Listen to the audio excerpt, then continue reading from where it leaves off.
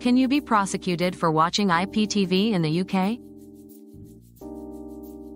Watching IPTV in the UK can be a legal grey area.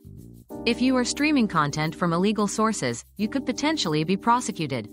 Using legal services that comply with licensing laws is the safest option.